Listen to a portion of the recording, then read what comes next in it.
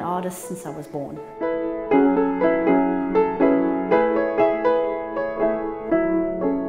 And I was always trying to paint what heaven would look like.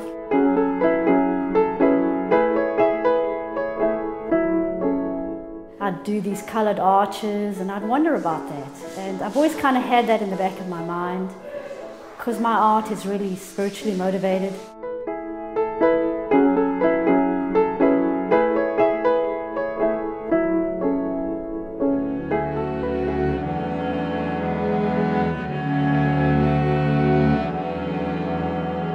My grandmother just adored me and um, was so encouraging because I'd say, well, if I ever sell a painting, she'd say, my dear, it's when you sell a painting. My other grandmother started painting when she was something like 78 years old.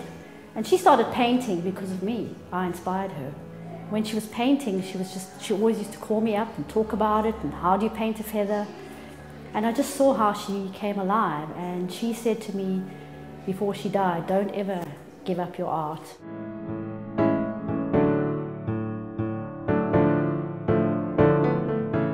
If someone just falls in love with a piece, then they want it. Um, you connect in some way. The snake would transform bad, heavy energy, you know, into lighter spiritual energy. These infinity symbols, well, they're more like spiritual infinity symbols. So it's showing the promise of coming out of a dark period into the light. The colors are very grounding colors to connect you back to the earth. Even the way the snake comes down is like a, a cord to the center of the earth. People like the story behind the art, what it's supposed to do, how the energy can affect them.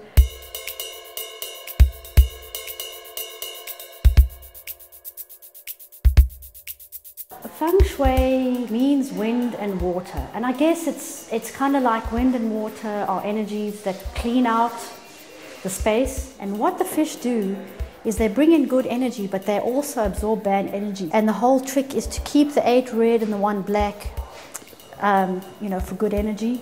And the peonies, those, those are the guilty culprits. It's supposed to get you a good relationship or it's supposed to improve your relationship. And, but I found out one day that it gets rid of the wrong person too.